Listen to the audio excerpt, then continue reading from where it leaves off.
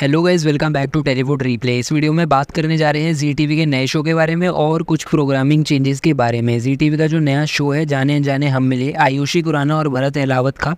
Serial है। आटा साटा मैरिज जो होती है, उस पर बेस्ड सीरियल की कहानी है। अब तक सीरियल के प्रोमोज चलाए जा रहे थे। प्रोमो में डेट भी बता दी गई थी ग्यारह नवंबर की, लेकिन टाइम स्लॉट अब तक रिवील नहीं करी गई थी। जी टी वाली टाइम स्लॉट जो है, वो थोड़ा लेट रिवील करते होते हैं। अब शो की जो टाइमिंग है, वो भी रिवील कर दी गई है। ऑफिशियली फाइनलाइज कर दी गई है। ये जो नया सीरियल है, हमें रोज साढ़े नौ बजे के टाइम स्लॉट पे देखने को मिला करेगा। यानी कि जो टाइम स्लॉट दी गई है सीरियल को वो बढ़िया वाली दी गई है, अच्छी टाइम स्लॉट पे सीरियल आया करेगा, जहाँ पे टीआरपी लाने की आवश्यकता है और लेकर आ भी सकता है।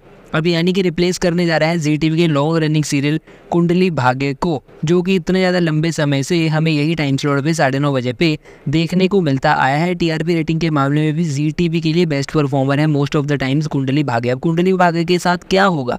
क्या ये बंद हो जाएगा? ऑब्वियसली नॉट जब इतना अच्छा सीरियल इतने लंबे समय से चल रहा है तो इसको बंद क्यों करेंगे? तो गाइज़ ये बंद नहीं होगा, इसकी टाइम स्लॉट भी बदल दी जाएगी। तो नए शो के आने से कुंडली भाग्य की टाइमिंग बदलकर दस बजे की कर दी जाएगी।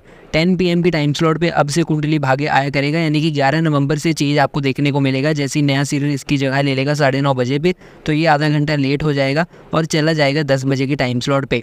मेरे ओपिनियन में जी टी कई बार थोड़े मुश्किल डिसीज़न लेता होता है, लेकिन ये जो डिसीज़न है एक्चुअल में काफ़ी बढ़िया डिसीज़न हो सकता है। मेरे ओपिनियन में मुझे लगता है कि ये काफ़ी बेनिफिशियल साबित हो सकता है दोनों ही सीरियल्स के लिए और जी टी की दोनों टाइम स्लॉट्स के लिए। यहाँ पर हो सकता है साढ़े नौ बजे पे जो नया सीरियल है, वो भी चल ही जाए कुमकुम भाग्य की काफ़ी ज़्यादा ऑडियंस उसको देख ले एंड कुंडली भाग्य के लिए जो ऑडियंस वेट कर रही है मे बी वो भी उसमें ट्यून इन हो जाए।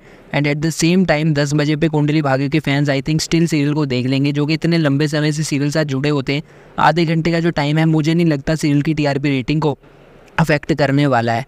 मेरे ओपिनियन में अभी तक मुझे यही लग रहा है कि जी टी वी का जो मूव है, उनका जो डिसीज़न है, काफ़ी ब्रिलियंट साबित हो सकता है उनके लिए और टीआरपी रेटिंग में उनके लिए फ़ायदा हो सकता है। साढ़े नौ बजे और दस बजे दोनों के टाइम स्लॉट्स पे। इससे ये हो सकता है कि दोनों ही शोज़ का फ़ायदा हो, क्योंकि कुंडली भाग्य तो अच्छा हिट है ही। उसके साथ दस बजे की जो टाइम स्लॉट है, वहाँ पर उनको एक स्टेबल परफॉर्मर मिल सकता है कुंडली भाग्य के रूप में। और साढ़े नौ बजे की जो टाइम स्लॉट है, वहाँ पर एक नया शो मिल सकता है, जहाँ पर नए शो की टीआरपी रेटिंग भी बढ़िया आ सकती है। तो यहाँ पर जी वालों का फैसला बढ़िया है, मूव अच्छी है। अब देखते हैं शो के कंटेंट पे डिपेंड करता है कि टीआरपी अच्छी लेकर आ पाएगा या नहीं लेकर आ पाएगा। तो इस तरह से कुंडली भाग्य का जो टाइम स्लॉट चेंज है, हमें 11 नवंबर से देखने को मिलने वाला है जब से नया सीरियल आएगा। कमेंट्स में बताइए कुंडली भाग्य के फैंस आप इस टाइमिंग चेंज के साथ खुश हैं सेटिस्फाइड हैं, या फिर आप दुखी हैं, नहीं देख पाएँगे?